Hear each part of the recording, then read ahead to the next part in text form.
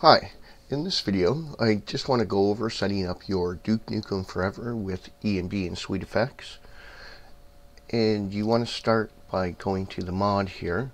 I'll actually have a link for that um, that I'll leave just under the video. And once you download that you just want to open the file once you've downloaded it. So we'll just download it here and then I'll open the file. And once the file is open, then you want to go to your game folder. And if you look on the install instructions here, you're going to actually go to the Duke Nukem Forever system folder once you've opened the game folder. Now, depending on if you have Steam or GOG. I'll show you how to open each one of those. Now with Steam games, all you have to do is look for the game in the library there, click Properties, Local Files, and Browse Local Files, and that will open up the Steam location. Now the Steam location, if you manually have to go there, your games are located in C Program Files, Steam, Steam Apps, Common, and then you'll find all the games listed in the common folder. Now, if you happen to use GOG, I, I don't happen to have the GOG version of this, but I'll use um, one of my games here as an example. What you would do is click on the game in your game library, click More, Manage Installation, and Show Folder, and that will open up the GOG folder. The GOG programs are in your C program files, GOG Galaxy Games, and then the same as the Steam All Your Games will be listed in this folder. Now once you've opened the folder here, you want to go to the system folder right here. And then you just want to drag and drop the contents here into the game folder. And at this point, if you're a Windows 10 user, you want to go to the DXGI here, and you want to rename that to D3D11. And at this point, you're all set. You want to start the game and set your settings in game.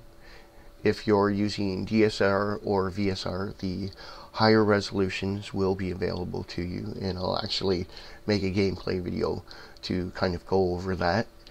And if you do have any issues such as the um, game crashes on startup or such with um, Windows 8 I I do know that the Steam overlay has to be disabled one of the fellows with Windows 8 had that problem and he was able to correct it by turning off the overlay for the game.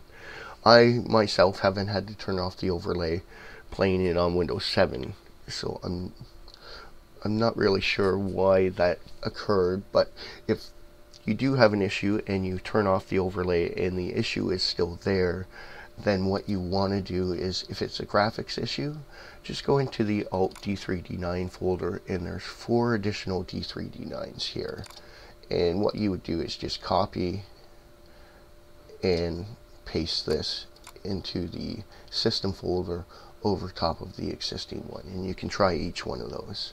So if you notice that the game starts but the graphics don't look right or um, something like that you get little glitches as you move, then it's more than likely the D3D9 file and you'll just want to replace that.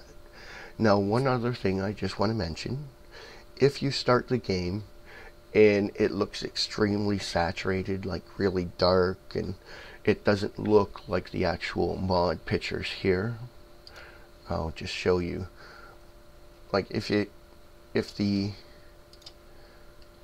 one side with the enabled effects doesn't look clear like this and it looks really really dark then that's your SMAA and the instructions for that are actually also on the install notes right here. If using DSR or VSR or the game appears dark you just want to make a change to these two files here.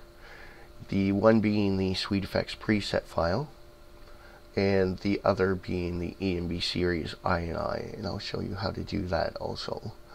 So if the game looks extremely saturated just go to the SweetFX preset and the Duke Nukem Forever and disable this line here. Just change that to a zero and then save your game save your file sorry and then you want to make one other change and that's to the ENB series INI right here. And you want to go under the global allow anti-alias and you want to turn that to zero. And those two changes will actually correct any coloration issue or performance issue you may have with the game. And that's basically it. You just want to close the folder then and depending on how you're launching it whether it's GOG or Steam then you can just go ahead and start your game at this point. and the new graphics overlay from the Effects and ENB should be working at that point. And as I said, I will make a gameplay video just going over the settings and such um, to make sure that you know what to expect when you're actually using this mod and playing your game. Alright, now if there's any other questions, please feel free to leave them in the comments below. Otherwise, I hope this has helped and I hope you enjoy your game and watch for that gameplay video. Thanks a lot and take care.